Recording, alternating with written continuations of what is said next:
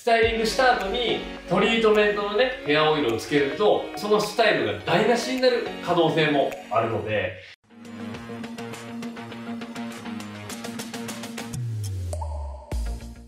どうも皆さんこんにちは。渡辺です。今日はですね美容師が絶対することとしないことこれについて紹介していきたいと思います。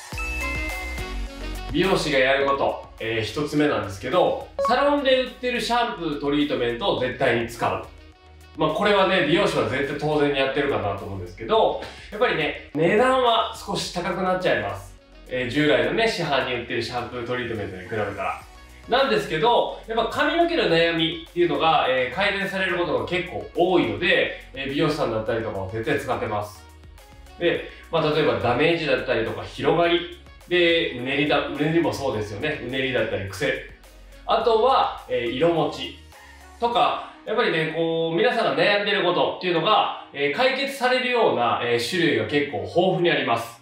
なので、例えばですけどね、一回、まあ、サロンで高級なトリートメントをやったりとか、あとは、あの高いトリートメントを1個買うっていうよりは、本当にね、毎日使い続けるものを自分に合ったものをチョイスするのが一番ベストかなと思いますので、まずサロンのね、売ってるシャンプートリートメントを絶対使ってます。で、次に、えー、トリートメントっ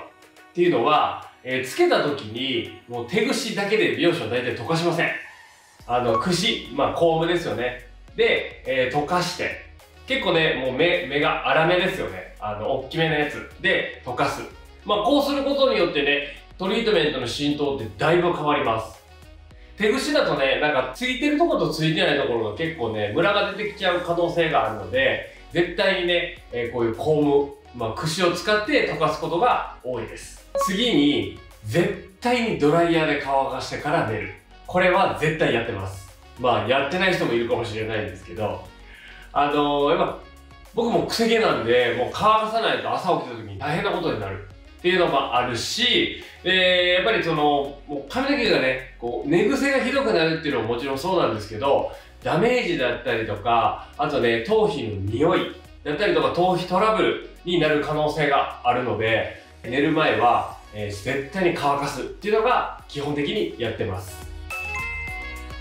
次に美容師がしないこと。まず1つ目なんですけどホームカラーをする。これはね絶対やってないです。なぜかというとホームカラーした後っていうのがまたね美容室でカラーリングするときにこう自分が求めてる色だったりとか明るさにすることが結構難しくなります。場合によってはね、サロンでね、あの美容室でやるときに、ちょっとお断りされることも結構あるかなと思うので、できればホームカラーをあんまりやらないようにしてもらえるといいかなと思います。あとはね、ダメージが結構高かったりもするので、結構ね、パサつきの原因になるので、あんまりお勧めしません。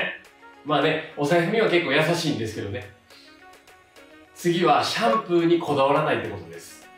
すごくね、高級なトリートメントにこだわってる方って結構ね、いらっしゃるかなと思うんですけど、本当にね、髪質を変えたい、髪をきれいにしたいっていう方に関しては、絶対に毎日のヘアケアがすごく大事になっています。美はね、一日にしてならずっていう言葉があるように、一回では絶対綺麗にならないですから。なので、家で使うね、シャンプー、トリートメントをしっかりと見直して、で、もちろんね、えー、高級なトリートメントを使うのはもちろん当たり前でいいことなんですけれども、本当にね、それ以上に毎日のトリートメント、シャンプートリートメントがすごく重要になってきますので、その辺をね、まず見直していければいいかなと思ってます。あとは、えー、ヘアオイルですね。普通のね、ヘアオイル、スタイリング剤のヘアオイルと、あとトリートメントのヘアオイル。これをね、使い分けてない方も結構いらっしゃるかなと思うので、やっぱりね、その、スタイリング剤のヘアオイルっていうのは、スタイリングした後につけるからちょっと効果が出るっていうのもあるんですけど、例えばね、スタイリングした後にトリートメントのね、ヘアオイルをつけると、結構ね、そのスタイルが台無しになる可能性もあるので、しっかりとね、スタイリング用のオイル、ヘアケアのオイル、こっちをね、使い分けてやってあげると、えー、全然変わってくるかなと思います。最後に、えー、寝癖のままえー、アイロンだったりとかコテを巻く。こういうことは絶対皆さんはやりません。絶対にね、あの、ヘアスタイルを、まあ、一日長持ちさせることだったりとかをね、考えると、一回ね、寝癖だったりとか、ちょっとこういう羽だったりとかを一度濡らして乾かしてからなくしてからヘアアイロンだったりとか固定を使う。こういう風にやると、一日のね、ヘアスタイルが結構長持ちしやすかったりとか、形がすごく綺麗になりやすいので、絶対に寝癖のままアイロンは使わないようにしてください。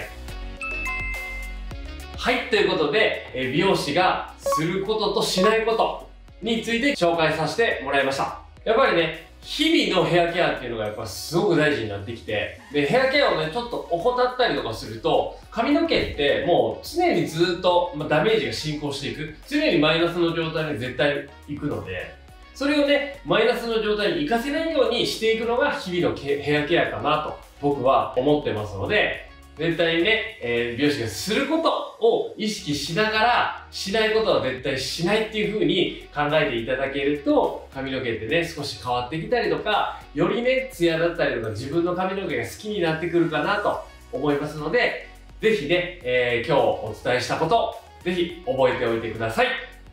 はい、この動画が良かったら、グッドボタンと、あとチャンネル登録もよろしくお願いします。で、コメントだったりとかね、えー、もうお待ちしておりますので、またよろしくお願いします。それではまた次回の動画でお会いしましょう。バイバイ。